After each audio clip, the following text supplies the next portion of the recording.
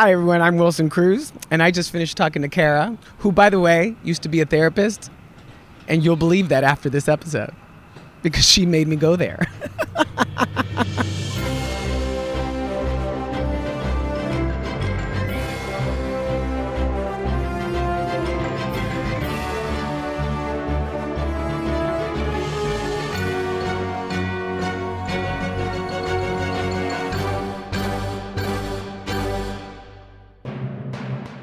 Hi, friends. It's Kara. Welcome to the show. Today I'm talking to Wilson Cruz. Now, Wilson plays Dr. Hugh Culber on the Paramount Plus series Star Trek Discovery, which just kicked off a brand new season. But if you're not a Star Trekker, you may know him from the Netflix series 13 Reasons Why, the Tony Award winning Broadway musical Rent, or, and this is big, the ABC series My So Called Life with Claire Danes. Wilson played Ricky Vasquez and became the first openly gay actor playing an openly gay role on series television. So, Wilson has won oodles of awards. He served as national spokesperson for GLAAD, and he devotes a ton of time to supporting other LGBTQ organizations. And now, for the backstory of today's talk, we taped our talk at the Westgate, New York Grand Central, a fabulous upscale hotel in Midtown Manhattan on East 42nd Street. I just love it here. It has a retro Art Deco vibe, and with a major renovation last year, it's also super modern and fresh and new. They set aside a special suite for us, and when my assistant Jack and I stepped out onto the enormous balcony overlooking the East River, with boats floating by and the UN and skyscrapers as a backdrop, we knew we had to take advantage of the beautiful day we were given. It was warm and sunny, and take this entire taping outside, right there on the balcony. So there we are, setting up our equipment the audio recorder and mics naturally, plus three cameras for the videos that we produce and run on my YouTube channel. And then I get a phone call from Wilson. He was wondering where the heck we were because he could not find the hotel on West 42nd Street.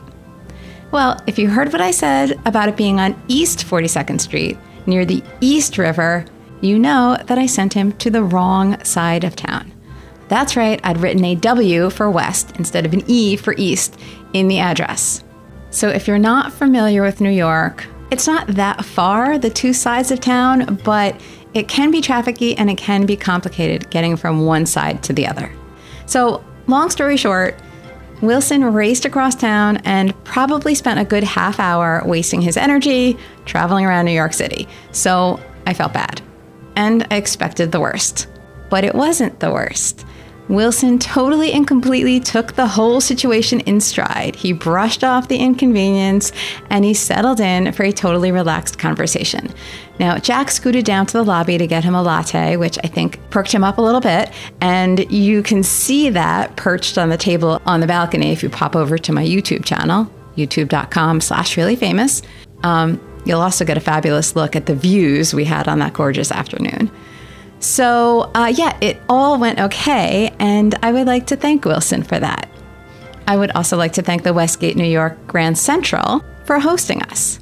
If you're visiting New York, it's a great choice for a hotel. It's perfectly located in Midtown and it's just the right size. It has everything you need, plus a very personal, intimate feel. I put a link to the hotel and to my YouTube channel in today's show notes so you can check that out whenever you like. And now, here we are. You know, I like to start talking like in the middle of a regular conversation, yes. like we were just having. We were. We were getting our, our what do you call that? Our our, our feet back on the ground. That's uh, right. Our, so we had a little. We were grounding ourselves. Oh, we had a little rocky start, and I'm going to own it myself. It's a combination. But I sent Maybe. you to the wrong side of town. I mean, had I seen between first and second, that would have cued me in. But right. I didn't see that. All I saw was the actual the W. Dress. Yeah. I put the W in. You did. And it's supposed to be an E. it's all right. It happens. Uh, okay. We're here now when we're supposed to be. That's right. I wasn't And supposed to be here before that. Here's the nice thing about it is that we're outside, which we wouldn't have been. It's true, and Like- we're, you'll hear some construction happening. a lot. So I decided I don't care about the noise because this is an opportunity. Like we never. Did you think it was going to be what is no, it? because 65? it's been 40 for a week now. Yeah. So yes, this is the. I think this is our last day of spring. we'll call it spring. If our- only our it was spring and fall. I am like I am a spring and summer person. Yeah, as am I. Like severely. and I moved to New York from So- LA, so that makes a lot of sense. Why did you move to New York? Uh, to be closer to my family after the last two years where I was isolated in Toronto by myself. And I had been talking about coming back anyway, um, eventually. And when we were finally allowed to leave Toronto without quarantining for two weeks, Yeah. Upon our return, um, I went down, saw my parents for a week because I had two weeks off before I had to finish the season. Um, so I went, I took a week, saw my parents, came up here for a week, and saw my brother, uh, and found this apartment while I was here. Oh, okay. So, so then I went to back to Toronto, finished the season, had the stuff shipped here, and I'm basically moved in now. Okay. Well, I need plants. congratulations. You need plants. Do you keep them alive? We'll see. I can't keep a houseplant alive if my Thank if my life depended on it. Hero, thank you very much. All right, I so we're appreciate it. recording, but if you could go over to this camera and just tap on my face to make sure that it's focused on my face. Do you see a square? Mm-hmm. Okay, good. I had to have some coffee after the today's events, so I appreciate it. After the brutal beginning of today, you seem like somebody who knows how to roll with the punches, even though they're aggravations. I am a, a, New Yorker from you know originally. right. So, So you you grew up here. You're Puerto Rican, correct? yes, yes. I was born here in Brooklyn at Brooklyn Hospital. Uh huh. Uh, my parents grew up in Greenpoint, Brooklyn, before it was Greenpoint. Um, we moved to Queens, and I went to kindergarten and first grade there, and then we moved. Um, we moved to Michigan, where my youngest brother was born, and then we moved to California by the time I was in my late early teens. Um, and then I was there, and then I came back here. I've been I, I've lived in New York as an adult a number of times. Well, it is the place, isn't it? It feels like one of my homes. So does LA feel like another one? It does. It does. Yeah, I feel like I, I'm one of those people who loves them both for different reasons. Yeah. Like I have no hateration for LA. I have no hateration for no, I don't. I I feel like LA is a fantastic city.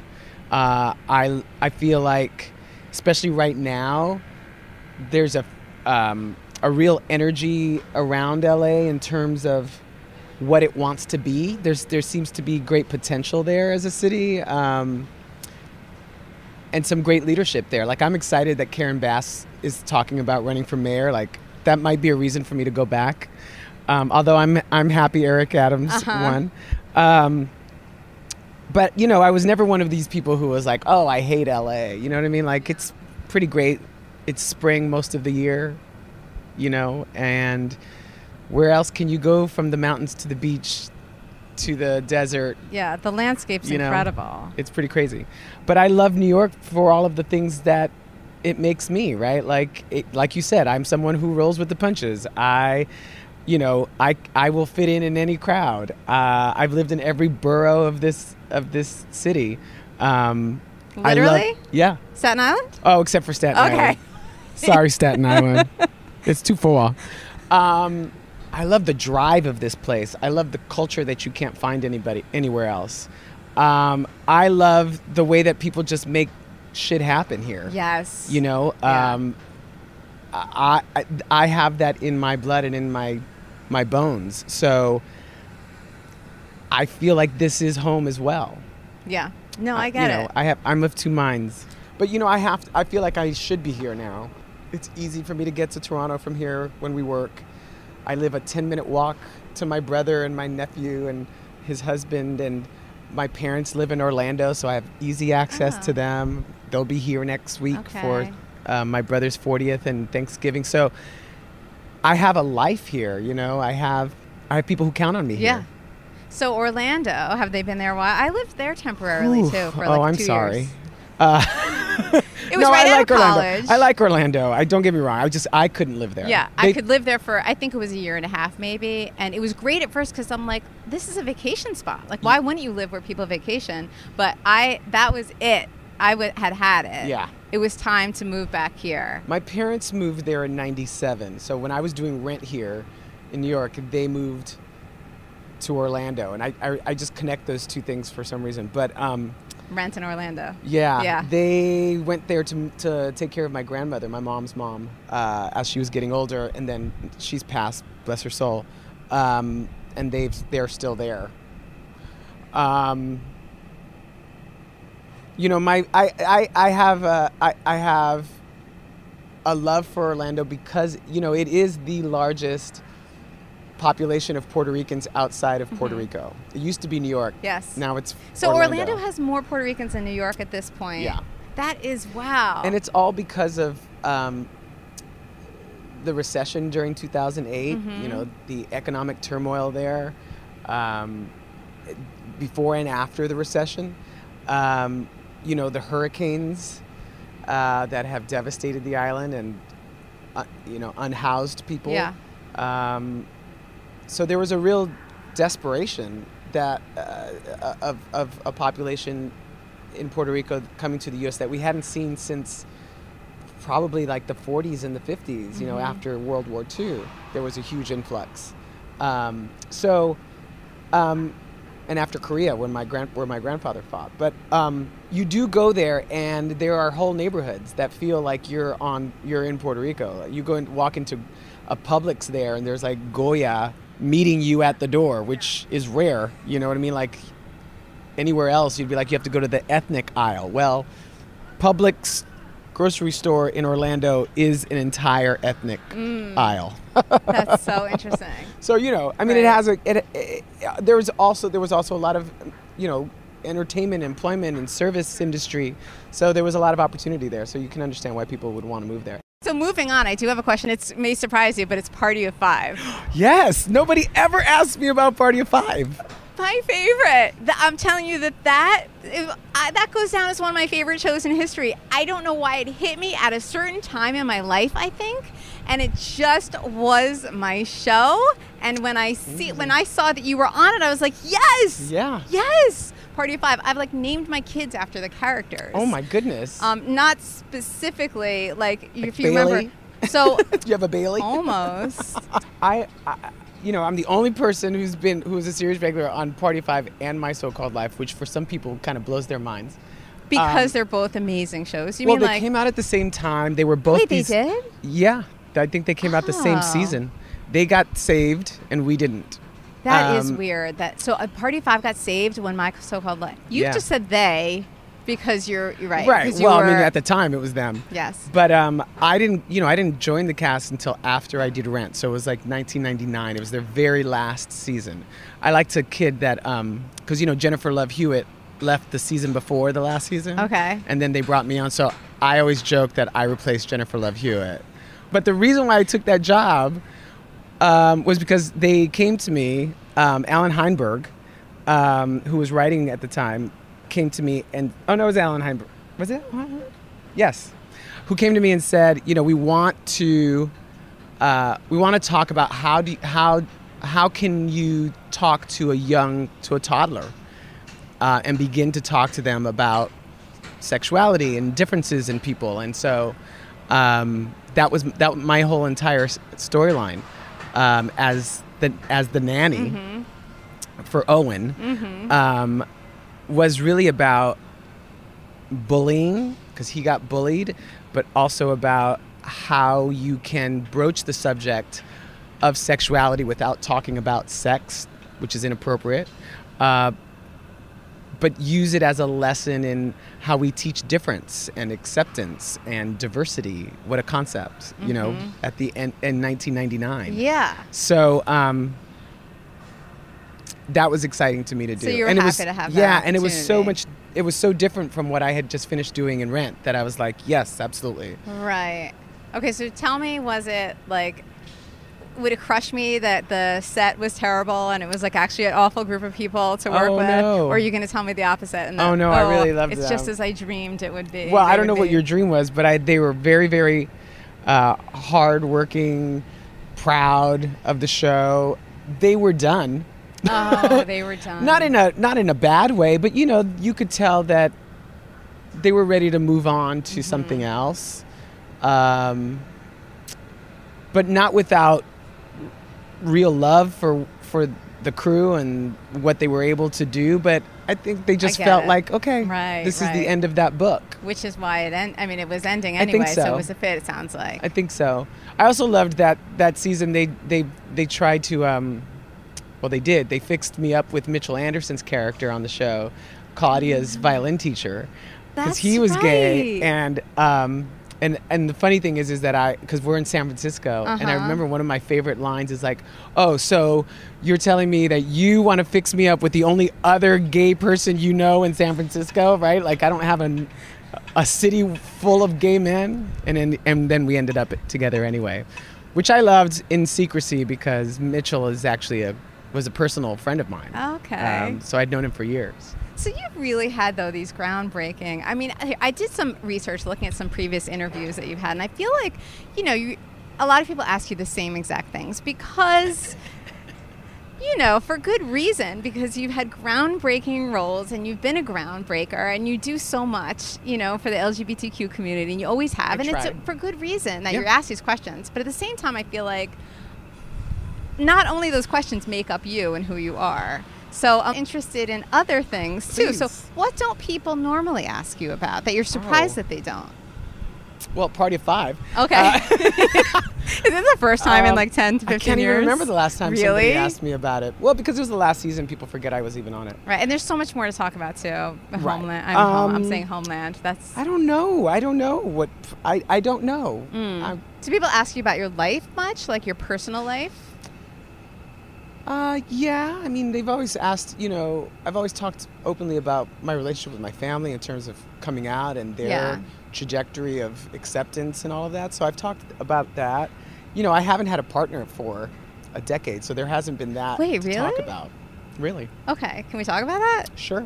So I should warn you, I was a therapist before I did Oh. this. I, I, I sensed that. it's starting to get hot here, so let me take this off. You couldn't have timed that better. That's ten years. All right, let's let's go there. So ten years. There's so is that a um, was that a decision you made, or is that something that has ha- kind of just happened? So I was living here in 2010. Is that right? Yes. I was living here in 2010 and I had moved to New York to to be closer to my brother. He was going through a hard time. And I came here to do theater and nothing was happening and I got this job offer to go work at GLAAD.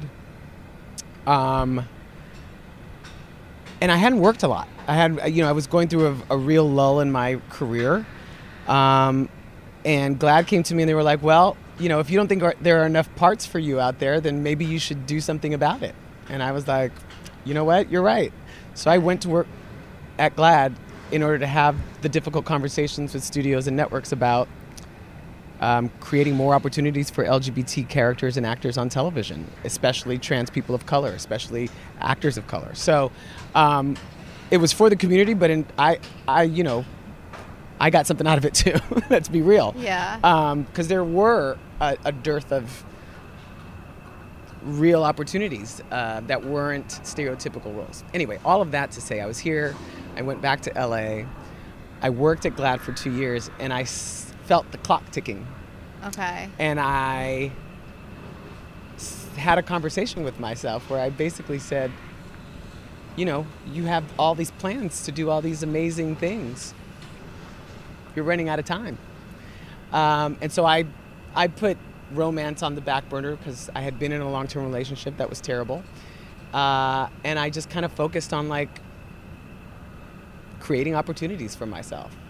Um, So you're talking about work opportunities then? Yeah. Okay. So that's what you were thinking. Yeah, and so I left GLAAD uh, after two years. I put myself back out there, and I went right into a series with Octavia Spencer called Red Band Society, and and then I just started working consistently.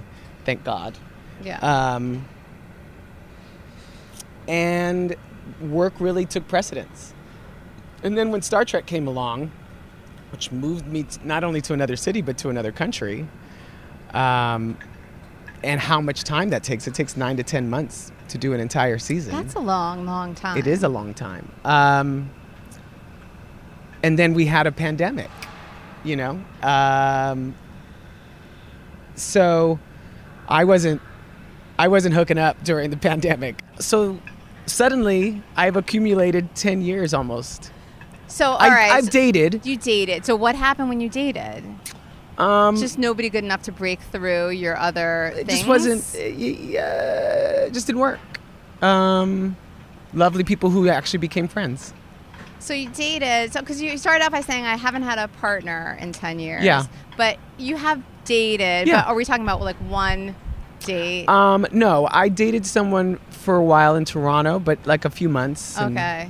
Um, and then there was someone who literally went in and extracted my heart from my chest and threw it on the floor and like crushed it. and that was right before the pandemic. And I was like, well, I'm good for a minute. So you trusted him at first, or did you kind of have a little bit of a sense of this may not? Oh no, I was. It was one of those like I'm all in. You're gonna be my husband, and like in my head, I'm thinking, oh, this is the person. What What happened? He had a boyfriend the whole time. Oh no. Ta-da! So How'd you find out? he eventually told me because he saw that I was getting serious, right? Uh, so he had to tell me about his lie. Anyway, so yes, Hmm. I've been. But single. that was tough, and then right before the pandemic, and then you're yeah. I can only Yeah. imagine all the feelings and yes at once about that. But also then it's like, do you trust yourself after that? Like, well, No. ha- that's a problem. Yes. Even though, of course, it has nothing to do with you, it has to do with him.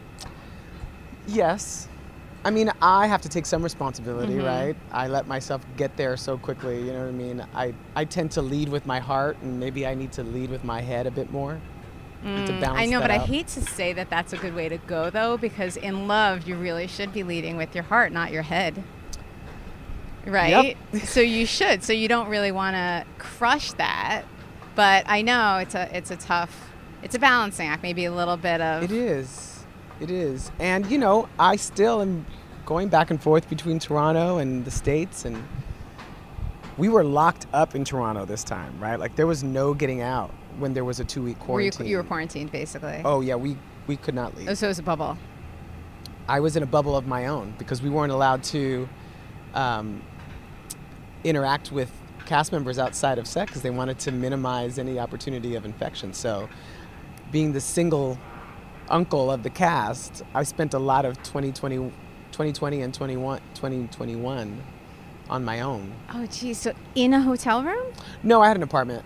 Oh. An apartment. I had a two bedroom apartment because I thought, oh, you know, I'm, I'm going to have my parents visit at some point or my brother's going to come. I ended up turning it into a gym, the guest room. That's tough, though. I mean, the pandemic was tough on everybody. Everybody And you also, you're a social person. I am. you're a love person. I am. You're a people person. I am. And that was really hard for me. It did was- it take a toll, like even after? Like, did Yes. I feel I'm definitely a different social person than I was before. How? Um I don't know. I think I, I I'm enjoying my time at home a little too much. like I'm uh, you know, I'm back in New York. I have been going to the theater. I am uh you know interacting with friends. I keep seeing this bee or this hornet Oh, on your foot and I it's on your foot. Oh, I'm like, no. I, I try to just, but it's is it staying with me the whole time? No, it's gone. now. Okay, okay. It was. I didn't want it to sting your foot. oh, okay. Thanks. Um, and so I am reacclimating myself to being a social person. okay. so but- you so you enjoy your downtime at home alone more. So you Ye- live alone then, I guess, right? I do. Okay. Yeah. Um, so I'm reacclim- I'm relearning. That's what I guess I should say. I'm relearning how to be in the world again. Because I had to convince myself that being alone was a good thing for a while. Uh huh. Yeah. You know. Yes, that's a that's The a, one thing I'm not crazy about right now is like going to a, a club or a bar. Like that's that's where I I can't, I can't. I'll go to a mm-hmm. theater. I'll go to a, a concert. I'll go to a jazz club. Mm-hmm. I'll go to somebody's birthday party. But for some reason, I cannot bring myself to be like ooh ooh back in the club. I just can't do it. Also, I'm almost 50. Maybe I shouldn't be going to the clubs anymore. I do find myself looking for like, um, you know, 90s night at some bar. That I was like, well, maybe I'll go to that because now I go to the, the club and I'm like, I don't know who this is singing. Who is this right. person that sounds like the last person who was singing? It's a different world. Yeah. I guess what I feel is, I, I feel like before the pandemic, uh, I felt part of the youth culture still. Okay. in a weird way. Uh huh. And now I see, oh, I'm not really. I gotcha. you know? So it was Um, a separation, a division almost. Yeah, maybe. A line was drawn without I feel like I need it. to be a, a, a um, an elder statesman. Uh, you know, a supporter of, with with some wisdom to impart to my to my younger uh, cohorts, and maybe that's because they've been coming to me more, right? Like that, I've uh, so many of younger actors and performers and people I've been in um, relation with uh, are coming to me with like for questions advice. and yeah, okay, so this is what like castmates and whatnot. just in general, Just people. Yeah, In your life. some reason people think I'm wise. I mean, You- I'm still learning too, right? Yeah, like, I feel like I'm still like. And if you don't out. feel like that, what do you? You're not. Then you're definitely not learning, and that we should True. kind of be learning our whole lives. I feel like. yeah, I hope so. Yeah, I hope so too. I don't ever want to get to the point where I feel like I'm I'm finished, I'm done, I know it all. I don't think I want to be around anybody who feels that way either. No. Right? Yeah, because then you're done. I'm Right. not done. I'm so far from done. Same. So when you say you're learning how to be social again, Yeah. so like what do you mean? Like what exactly? Like do you feel weird around other people sometimes, or do you not know how to get yourself out? Like what? Oh, I think I think it's you. What I think it's what a, what's a few people I know are also going through, which is, um, I think. I think I. I'm watch. I think I watch myself more, right? Like I'm because after spending so so much time alone, um, you I think you end up being very self-aware, Mm, right? Maybe mhm. too self-aware, uh, self-conscious, Conscious, right? It moves from self-aware to self-conscious. right? And I am trying to let go of some of that self-consciousness. okay I think I'm trying to uh, Shed it. shed some of that, and it, I think it was protective, Yeah. you know. Um, but I think it's a direct result of just spending nine months Yeah. almost And I day. think that will revert. I think that will reverse. Sure. I hope so. With with t- over time, I think. yes. But I do feel like I think a lot of us were kind of expecting that once it ended, I mean, it hasn't ended, which is part of the problem. Yes, that is part of the problem. Right. That everybody would go like, you know, I heard a lot of people saying, "Oh, it's going to be the Roaring Twenties again," and everybody's going to want to be going out and whatever. And I feel like maybe July was like that a little yeah, bit. and then we got snapped right back because right. of Delta. Yeah. Right. And then so that was like I actually look back on like the end of June and the beginning of July as a wonderfully free short period of time Mm. where everybody had hope again. I was in Canada, so Oh, okay. I, except for the two weeks that I got to co- come to the states, but it was a very different experience oh, there. okay. You know, it, they were very strict, especially in Ontario. You know, the basically the only things that were open were grocery stores and gas stations Oh. and dispensaries. Thank God. Um, The necessities. Yeah. Uh, so I hear what you're saying, and you know this is the other thing too is. I think this is the first time I'm saying this public out loud. I was really mad at people. I was really angry. Um, I expected more of us as a as a people. Maybe it was just my naivete, but I was really disappointed in the fact that people weren't getting vaccinated uh, after all of the hard work that these scientists and Yeah. essential workers were doing and sacrifices that people were making all around the world and we couldn't simply just get the jab like it was really disconcerting to me. And so you know that that also you know also we were going through that that election. Like i was in toronto watching it from outside of the country watching January 6th play out in front of me, like not knowing honestly during while that was happening if I was ever going to be able to come back to my country. Like that's how bad I thought it was, um, and it could have been that bad. So, you know, I think all of that stuff Yeah. accumulates and takes a toll. It does. It stays and you're like. I'm going to keep myself safe by keeping myself separate, right. but. In the long run, that's not an answer. No. So that's why I'm reacclimating myself Yes. to uh, the human race. right. So it's less about your social circles and more about the human race that you're reacclimating yourself to. I'm really disappointed in us. It's very hard for me to grasp as well. Yeah. It seems so easy. And in crises before, before generations before us, people pulled together. To be fair, there were always like you know you look back at the Spanish flu or mm-hmm. whatever, and you see there whenever vaccinations came up, there was always a group that fought against it, thought it was in, impinging on their rights. So I guess that always happens. But to me, it just seems like one of those things where we should all of humanity should have just come together. Because it wasn't even just our country; it was It wasn't. the world. No, it wasn't. And I still don't really get it. And I think, I don't know, it's a messaging or something, and all of the things that are screwed up about our world right now with social media and everything Yeah. else. So, are you an optimist about humanity, or did you used to be? Like, are you? Do you think people are generally? I do, um, which is why I guess I say I was naive because I feel like I'm really disappointed because of that. And Mm-hmm. you know, also, we went through a racial reckoning. We're going through one right now. You know, the murder of Joy, George Floyd, and you know, the Ahmaud Arbery case is going on right now.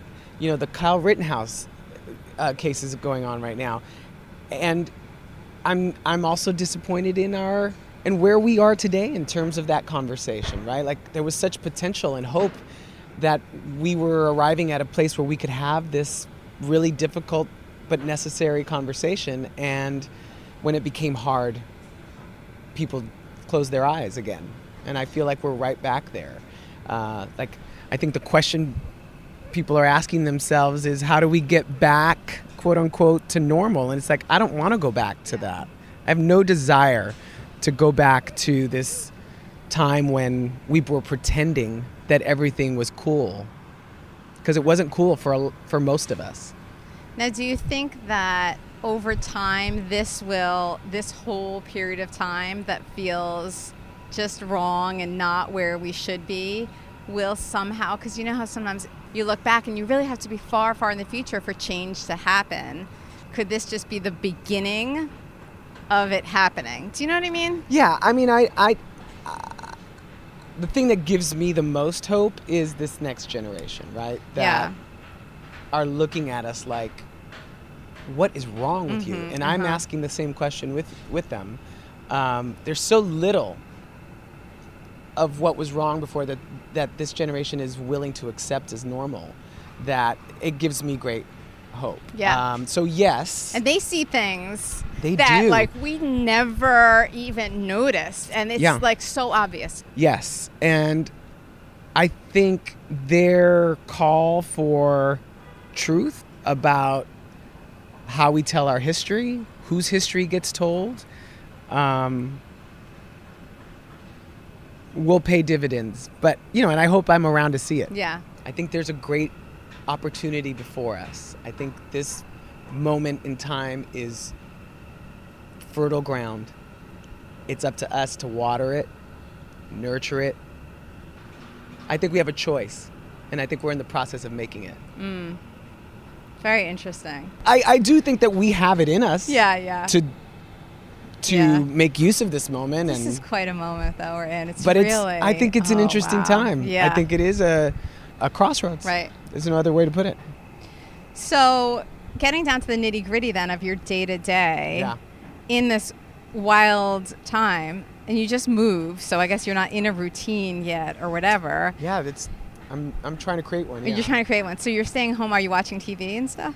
So I am. I'm catching up on stuff that I haven't watched. Okay, like what? I am all in on um, sex education right now. Oh, which okay. I didn't get to start watching until, not kidding you, last week. All right. So are you through it yet? No, I'm I'm halfway through the second season. Okay. What else? Um, I'm enjoying the morning show. Uh huh. Um, that was shocking. The last episode I watched. I don't. I'm not caught up on the last one. Um, So what was the? La- I watched it all in one chunk. I had like a media Oh, preview. so Mitch just. Okay. Yeah. That was really surprising. I, I have mixed feelings about the morning show. Yeah, I could see that. I have mixed feelings, but I'm I'm, I'm still watching it because I'm. I kept you know what I mean? watching it. Yeah. It was Yes. and I didn't love it, and I was really like, "Oh, come on!" So much of the time, and yet I just kept watching it. I Yeah. did. I see, saw it through to the end. Yeah, I I'm interested to see where it goes. I'm not in love with it. I am in love with Insecure, which I caught up last night. Um, I'm obsessed with that friendship. I'm also doing like Criterion Channel and like watching all of the Elia Kazan movies I can watch oh, like at which once. ones? Um, I watched On the Waterfront. That's Last maybe week- the best movie ever made. It was, and I remember, and I watched it, and I remembered why. I was like, oh right, this is why. right. This is a great movie. It's amazing to me to watch something like that now. Karl, but everybody talks about um, Marlon Brando in that movie. Yeah. But for me, that movie is Karl Malden. Mhm. he, he like kills that film. Yes. Like it's just he's heart wrenching. Sorry. No, good. All good. Um, and I guess uh, I'm gonna watch East of Eden again because I haven't seen that since Oh. high school. You know, it's funny. I feel like I started watching that like six months ago, and for some reason, I like fell asleep in it or something. Yeah. Well, I have to tell you, they're hard. It's hard to watch these movies now But- too, right? Because when I watched them initially, I didn't think about the fact that people of color are completely absent from these films that take place in America, right? And you go back and watch these things, and it's really, uh, it takes you out. It takes me out, I should say, of the experience when I'm like, wait a minute. Yeah, no, that's for Where sure. Where are we? Um, it's funny because you know you're saying the younger generation. So I have a son who is 13, and now so he will watch things and he will bring it all Yes. up and say, "Mom, like you wouldn't believe." You know how racist this is, or you wouldn't believe how they portrayed this person, or you know who played this and what they did, and it's like all he's seeing it. Yeah. there is a sh- there's going to be a shift, and it's going Oh, to be from the younger kids Absolutely. because they're just being raised that way. But you even look at the f- films that were like made in the, the 30s, right? And like Yeah. it's the middle of the Great Depression, but the films that were most popular were these very like outlandish, gaudy films about the rich, you know, the 1% living in New York City in these penthouses that were really gorgeous in their beautiful gowns and tuxedos. Meanwhile, 80% of the country was unemployed. you know what I mean? And like Right. Well, I guess it was they were like I don't know, it was fantasy or escapism. something. Yeah, Escapism. yeah, yeah, for sure. And then, Right. you know, the, the black maid would come in and you're like, oh, yeah, yeah, that's yeah. where we are. My husband and I were in a restaurant in Miami, and it's this restaurant that has some reputation. My husband's like, "Yeah, I heard about this place. I think they have really great crab. We should go." So for like years, we've been talking about it, and this was the perfect time. We were staying close by. Like, "Oh, let's just go." So we went, but like, it's just something that's taken out of a different era. They don't change anything, like on the menu or the way that there are servers there who've been there for generations, probably the same old white men. And as we're there, like my husband and I are both noticing, why are all the bussers black and all the waiters are white? And I'm like, are we really in this situation right now? So we're, I was like, this is really disturbing to me. And like, just the whole scene, it was like just a big turnoff to me. I am really. Florida. It is, but it's Miami, which is not supposed to No, that's be as Florida. Yeah. Do you know? Um, it's the power of nostalgia. I guess. And but pe- and you see people coming like, and they they know the maitre d or something Oh. like, oh, they come once a year or something. I'm like this. I just don't even get this. Um, I don't think we're supposed. To. I don't think you and I are supposed. I guess not. But I was like, okay, and it's It's for people who want to remember that time. I guess. And live in it for Yeah. a minute by going to that Yeah. restaurant. And, yeah. I really, did, but just left a bad taste in my mouth. I'm like, how is this pe- that this place? and it wasn't the crab. It was. no, the crab was fine, but I can get good crab anywhere. right. So, I'm allergic. So oh, you're allergic going. to crab? Yeah. Oh, that's all all shellfish. Shellfish. How'd you find out? I ate an all-you-can-eat shrimp dinner at Sizzler when I was 18, and I blew up like a blowfish. So just what? Everything? Like your Every- like, eyes? your, my, I remember Oh, like it was like I was the Incredible Hulk. Like my fingers were huge. and my Oh, okay. like the whole thing. I had an all-you-can-eat buffet Uh-huh, shrimp uh-huh. Dinner. Yeah, I got all I could eat. All right. People do love their buffets, though. I must say. I don't know if they'll still be loving them after this, though. Be interesting what Vegas does about that. Well, cruise ships also. So, can I tell you that I spent the first week of March last year On a cruise, on a cruise ship? ship? Which? Uh, it was a Star Trek cruise, and it was March 1st through the 8th or something like that. And while we were on the boat, we were watching the news about this, the cruise ship in San Francisco who wasn't allowed that wasn't allowed. Where were? back. Where was yours? we were? Um, Fort Lauderdale, Okay. around the Caribbean and back. Um, so I was a nervous wreck. I was like, I'm never getting off this boat. You know, it's probably full of COVID. so I spent most of the time in my cabin and I did, you know, the things I was obligated to do because I was there to work. Okay, so nobody had it there on your ship, or maybe I don't know. did. Wow, that's really interesting. I didn't get it though. Yeah. And um, yeah, Oh, that's. But it was nerve-wracking. I imagine. yes. And I mean, I just kept thinking we weren't going to be allowed back because that was actually happening to the cruise ships. It sure was. I felt so bad for everybody on a cruise ship. Oh my god. Oh, I don't know that I would have survived that. You're traveling tomorrow. I am. I'm going to London for a another Star Trek convention that happened really uh, last minute. So, Okay, so I'm that, excited to go. but that's a good opportunity for you, right? Yes. And people there must love like it must feel good to go into a place like that where people are obsessed, right? well, they're obsessed. They're not necessarily obsessed with me, but they're obsessed with the franchise Uh-huh. and and the ideals of Star Trek. And a lot of them um, have been watching the show, you know, since its inception in 1960s. What is that? 62 or something. So what are there a lot of older people there? Or I'm just all? saying there's all all sorts of ages in it, but I'm saying they're they're just not necessarily there to see. So they're just Me. Trekkies. Yes. Okay. Trekkers. Um, oh, trekkers. But, they are lovely to me. Yeah, and the people who uh, who love the show. I mean, yeah, it's very nice. Okay. Yes. So that's a good thing. But it gets crazy before you're ready to travel. And here you are the day before you're leaving for a, what is it, a week in London, Uh, five days. five yeah. days in London. Yeah. And here you are coming to meet me and have a conversation. And I send you to the wrong side of town.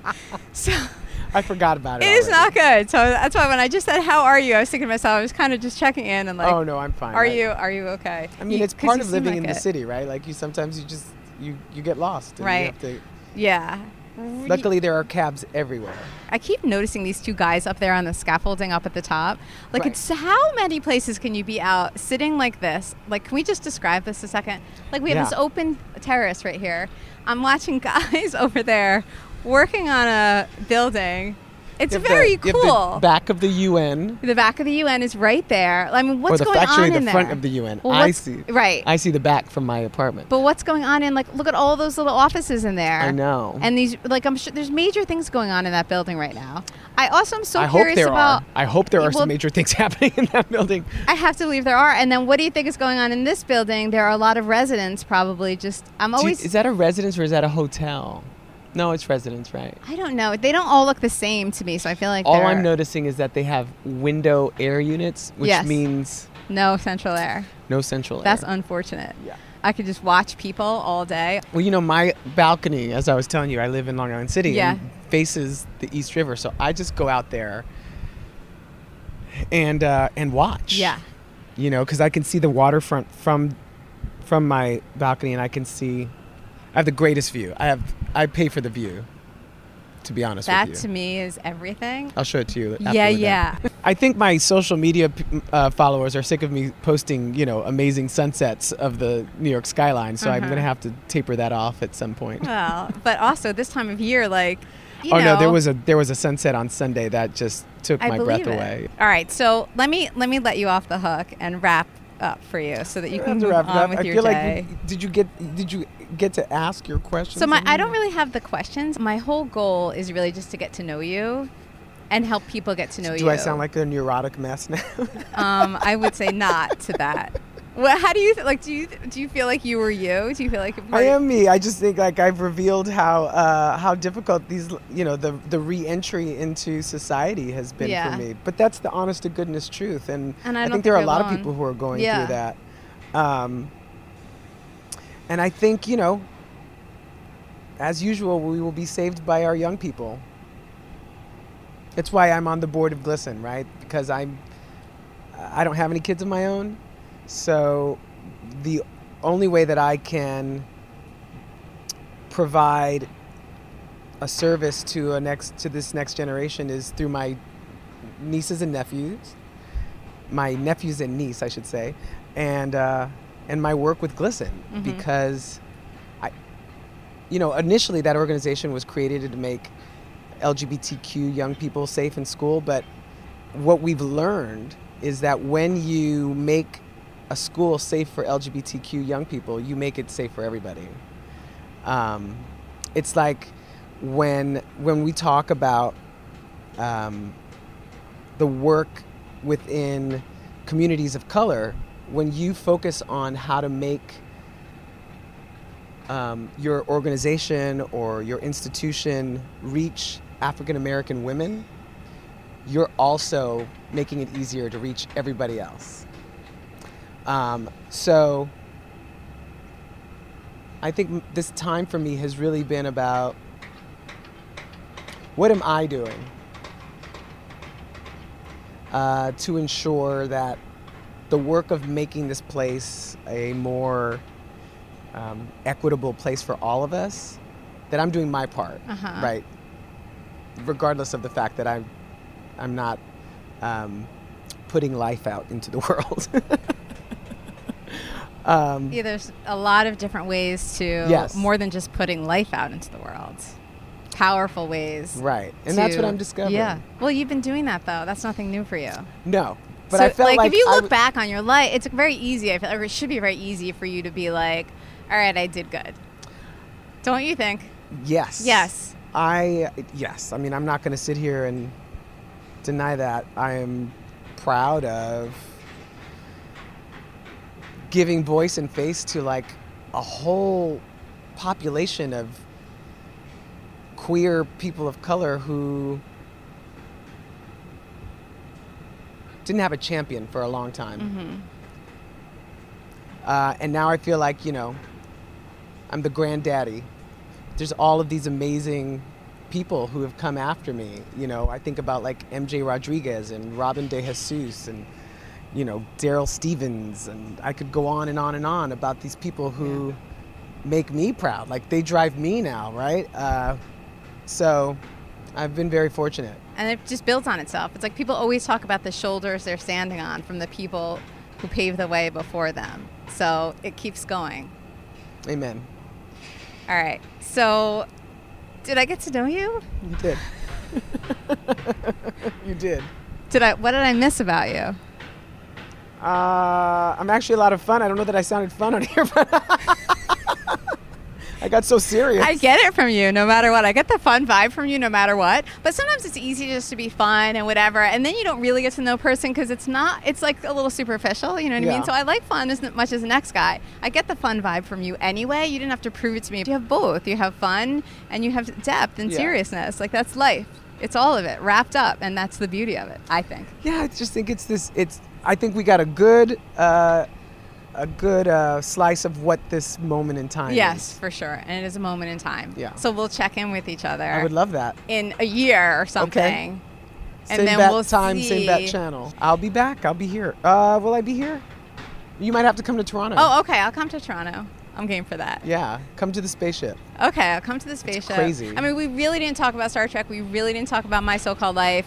Um, but I feel like all your other interviews talk about it. So, We have time. What do you want to know? what time is it? It's only 2:30. Or you want to talk about the shows? Sure. I know, but I don't want to ask you. I don't want you to say the same things that you've told everybody else. So you have to tell me something completely different okay. About my so-called life, and I But need that's gonna to be know. hard because I feel like I've talked about Yeah, that that's what my I'm doing. whole You've said. I know you've talked about your whole life, so we need to talk instead about um, what aspect of it. Okay, how about did you watch Homeland? After. I didn't. Oh, have you been asked that before? I haven't. Um, Why not? ah. Um, there was a moment when I was going to be on Homeland, and it didn't happen for some reason. Um, and then I just got really petty, and I didn't watch. and then so many years passed that I I just didn't I didn't watch. And I love her, and she knows this. This is not a secret that she's going to hear. Like if she listens to this, um, we've talked about it. But um, wait, wait, okay, so it was the first season you were supposed to be in. it was the very first. Who were you going to be? Do you know? It was this person who um, that she trusted. I'm trying to remember back that there, that she trusted, who ended up um, double crossing her. Okay. It, it was someone that was like a friend of hers and was a partner maybe to her. So did you talk to her about this Mm-mm. before? So she didn't even. Okay, so you were not in touch at that point, and you were like, "Oh, I'm scoring a role." Mm-hmm. But was it? But it was. It was first season. You said so. Did, was it believe so. already? It was already wrapped. Like you didn't. It wasn't big yet. You know what I No. mean? So, but you knew it was just a show called Homeland. Yeah. And then you didn't get it, and then it came out, and you were like, "Ugh, can't do it." Um, yeah, but now you know. Now I have all of these seasons to catch up Right, on. Right, like I can binge it. But also, it was like in your face all the time because it was such a All big the show. time. So it's like there's constant. And I never had any doubt that she was brilliant in it because she's brilliant Yeah. in everything. Like Uh-huh. she's, she was the first, um, like genius I ever met. Oh, like a real life genius. I feel like she's an. I think she, I feel Oh. like she's an. And uh, as a, as an actress, that she's genius. I really do. I think very few. Pe- I think that of very few people, but s- there was something. There is something very. Um,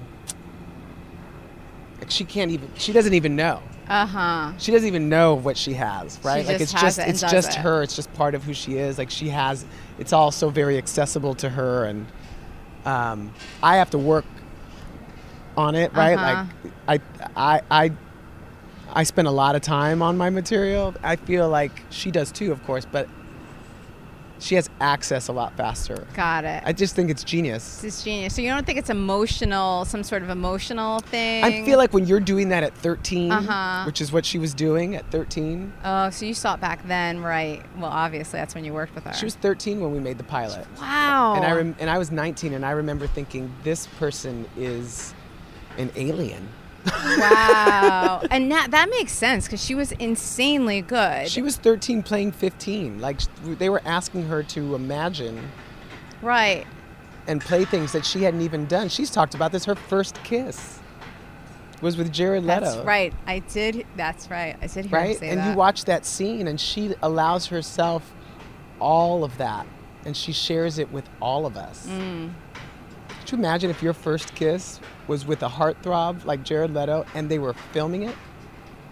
No way. How many people would allow themselves to be seen in that way? Yeah, especially at that age At that you're age. so vulnerable. That's what I'm talking about. Jeez. That's why it's genius. You're gonna be blown away by her when you watch Homeland. Oh, I.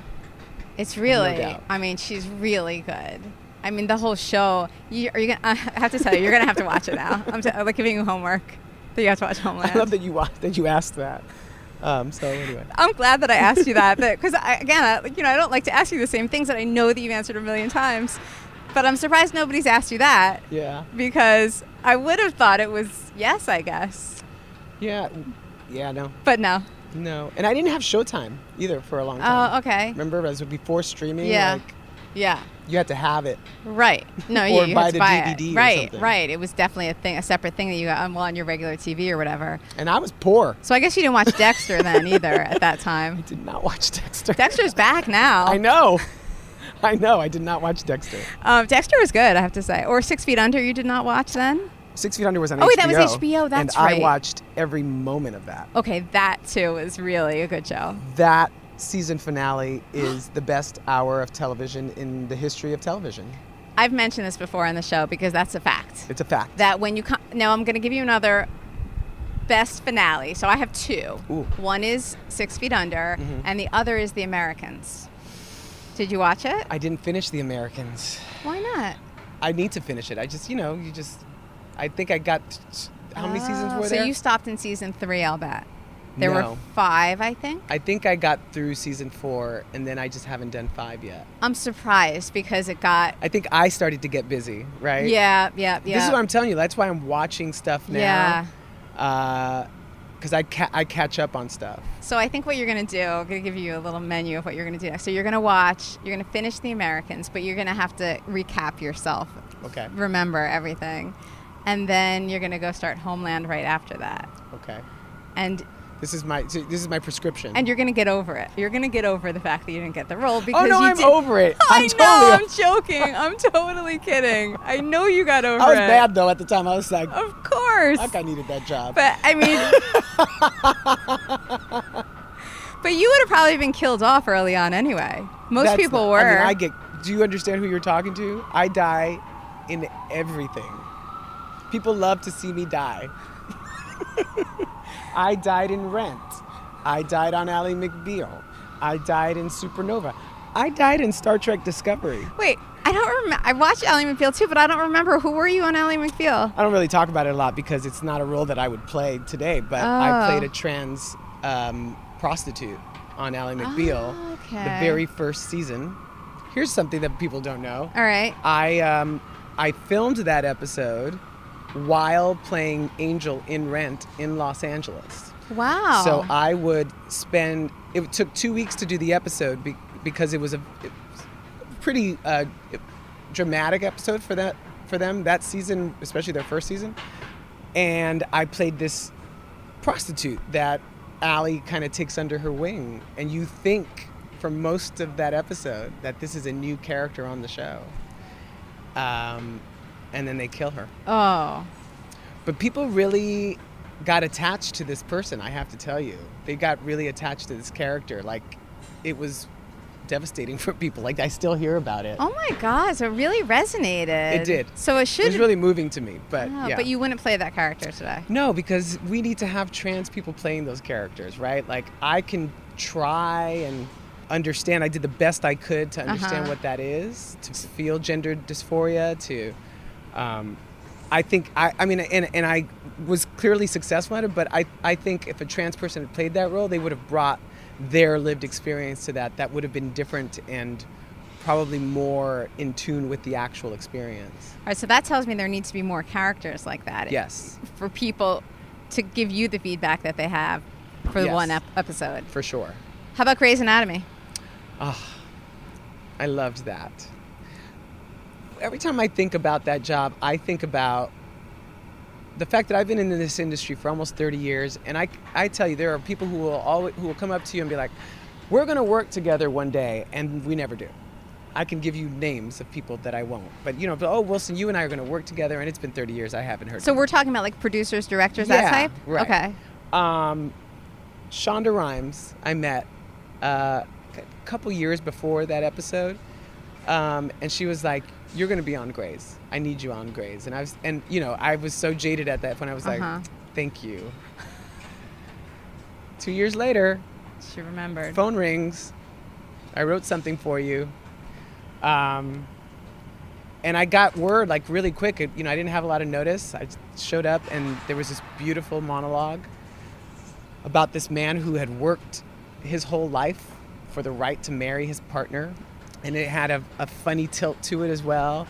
Um, and I got to work with one of my favorite actors of all time, which is Sara Ramirez, um, who's a friend of mine. Um, and we got to share that really beautiful scene together. That's very cool. That's a great story. It's a great story. That says a lot about Shonda Rhimes. Yeah, that Yeah. is interesting. So you, so in Hollywood, basically, you've you've heard a lot. People say a lot. Mm. People tell you a lot. But you're still an optimist about people, Yes. even though they don't always come through with what they promise. Yeah, because I think I honestly think people are doing the best they can, Mm-hmm. even in terms of this vaccination. I still think people are doing the best they can. I just wish we weren't dictated by fear so much. But um, I do think that people are good at the at their at their At their foundation. hmm I do too.